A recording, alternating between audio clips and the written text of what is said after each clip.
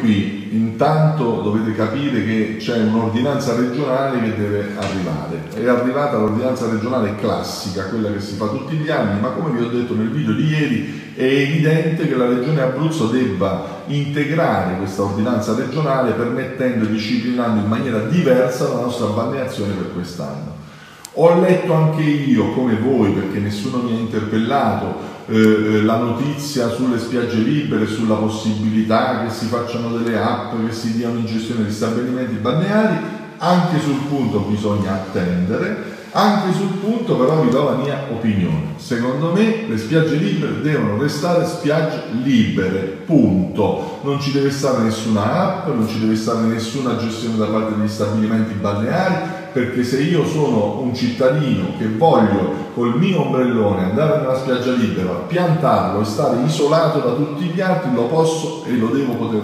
fare. Quindi io sono contrario a ogni forma di gestione delle spiagge libere. Per la prima volta eh, in grado di comunicarvi che i numeri ieri su Francavilla dei casi positivi al coronavirus non solo non sono aumentati ma sono scesi. Eh, eh, due persone sono state eh, dichiarate guarite eh, perché hanno avuto entrambi due tamponi negativi, si tratta di due operatori sanitari eh, e quindi questa bella notizia, ieri ho annunciato 49 casi attivi sul territorio, oggi ne annuncio 47, quindi eh, non è detto, ve lo dico subito, che questo numero non possa tornare ad aumentare perché ci sono ancora dei tamponi giacenti presso i laboratori della ASL, però oggi ci godiamo questo momento